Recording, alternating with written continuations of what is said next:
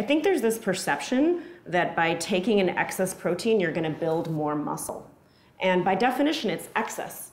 You don't need it. Once you have excess protein, it's either going to turn into fat, which is what often happens, or it's going to get broken down by your kidneys and your liver, often at some stress to those organs.